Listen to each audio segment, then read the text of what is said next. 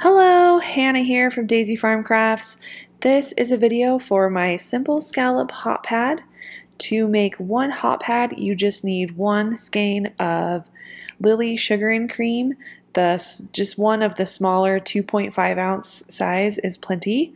And I am using a size H 5 millimeter crochet hook and if you'd like the, the full written instructions that go along with this video, you can find those on daisyfarmcrafts.com. So I'm going to start by making a base chain of 23. Since I'm using the griddle stitch, I want to have an odd number to start. And normally I would just say you can chain any odd number, uh, but for this specific hot pad, we want to make sure we have 23 because that will help make sure that we have um, everything all even when we make the scalloped border at the end so that our, our math works out. So start with a base chain of 23. And I'm going to start by working in the second chain from the hook. And I'm just going to start with a single crochet. So I'm going to insert my hook yarn over and pull up a loop, yarn over, pull through two loops.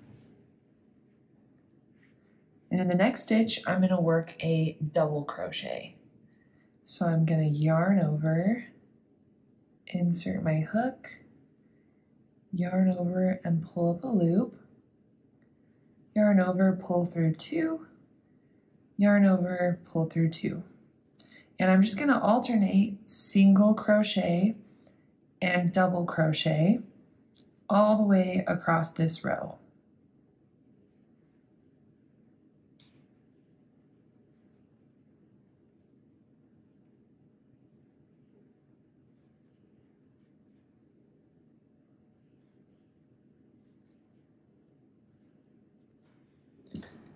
So since we started with an odd base chain, we should end the row with a double crochet. So here's my last single and a double crochet in the last stitch. Then I'm just going to chain one and turn. And I'm just going to start the row again with a single crochet and I'm going to work right into this first stitch. So right into the top of the double crochet that we just made. So again I'm just going to alternate single crochet and double crochet all the way across the row so essentially you're always going to be working a single crochet into the top of a double crochet and a double crochet into the top of a single crochet. And again, when you get to the end of the row, you should end with a double crochet and then just chain one and turn. So um, we call this the griddle stitch. So you're just gonna work 21 rows of this griddle stitch alternating single crochet and double crochet.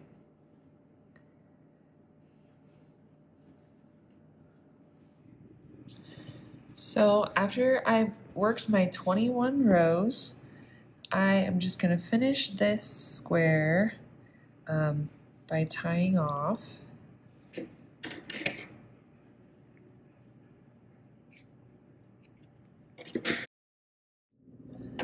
Then you're just going to make a second square that's exactly the same size.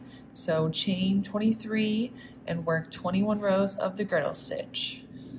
And after we have our two squares done, we can start combining them. So if you want, you can um, weave these in with a tapestry needle. I am just going to go ahead and tuck them into the inside of the hot pad since we're doing a, a pretty thick border. I'm not really worried about them coming out. So I'm just going to kind of tuck all these tails into the inside.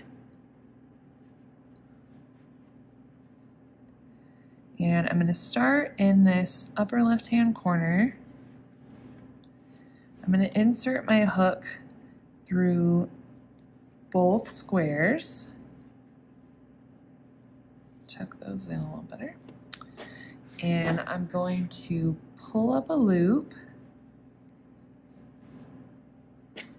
and chain one. And I'm also going to tuck this tail into the center of my hot pad. But now I'm going to start working down the side and I'm going to single crochet as evenly as possible. So if you can kind of see these little notches that are go along the side, I, I tried to do my best to keep those lined up. And I, I basically worked two single crochet in between each of these little sets of notches. So if you can just kind of use those as a reference. So I'm just going to work one single crochet right here into this first space. Now you can see these little notches and I'm going to work two single crochets in between them. And I'm just going to try to keep everything lined up and do this all the way across. And my goal is to get 21 stitches along this side. Um, and the reason I want specifically 21 is so that we can have these scallops line up evenly so that they um, the corners look pretty much the same.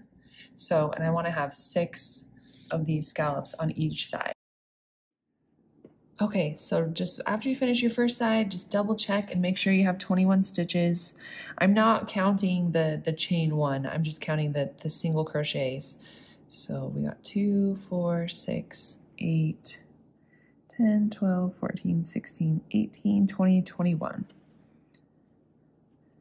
And now I am just going to work three single crochets into this corner space.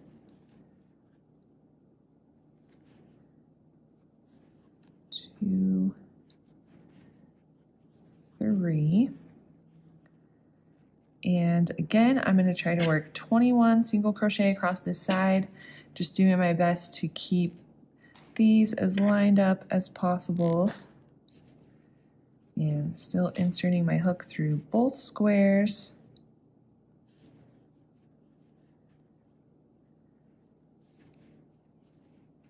And aiming for 21 stitches across.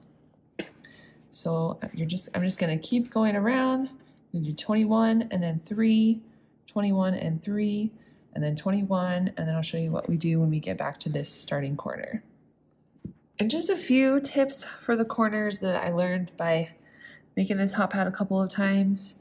So I know when you get to this second corner, um, there's not, you know, totally a corner space. So if you need to work into the same space that you did that, that 21st stitch, that's what I did. So like this is my 21st stitch and then I worked three into that same space. So that way, um, it's a little more even when you work your 21 across this way. And same thing for this side. I think I had like one more space right here on the end and that's where I worked my corner kind of at the end of this row um, so that I could really line up these stitches and get my 21 across.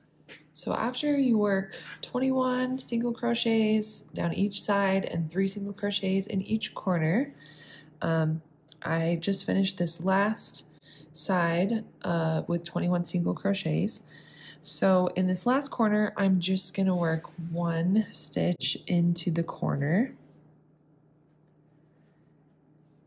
And then I'm going to slip stitch into this first stitch. So I'm just going to insert my hook, yarn over, and pull right through and I'm going to keep working in the same direction and right into that first stitch I am going to work five double crochets.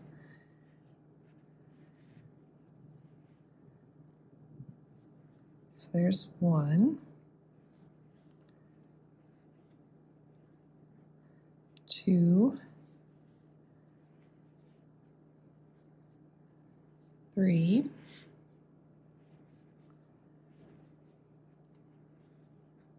four, and five. Now I'm going to slip stitch right into this next stitch.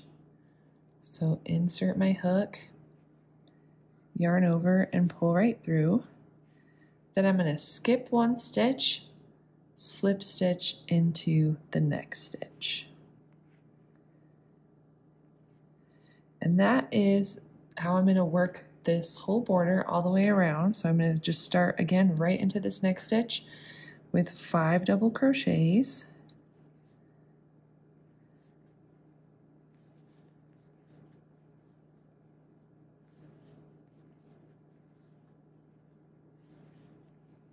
Four five. Slip stitch right into that next stitch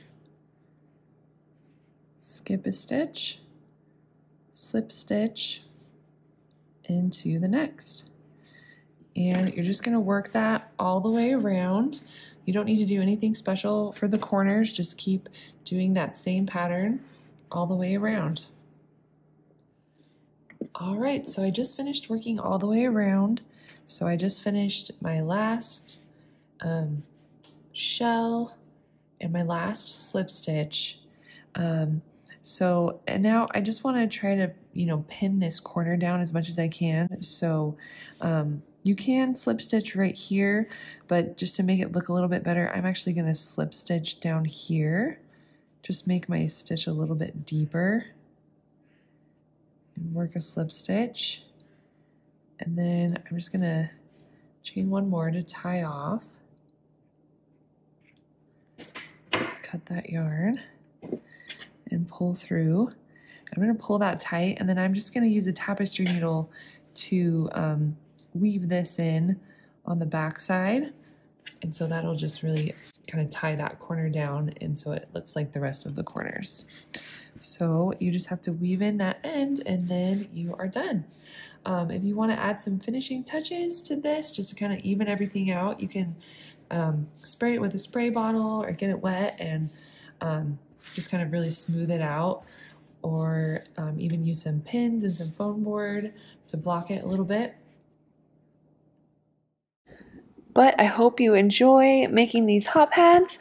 Whenever you're finished, please come share a picture with us on Facebook or Instagram with hashtag Daisy Farm Crafts. My mom and I would love to see, and I hope you have fun and happy crocheting.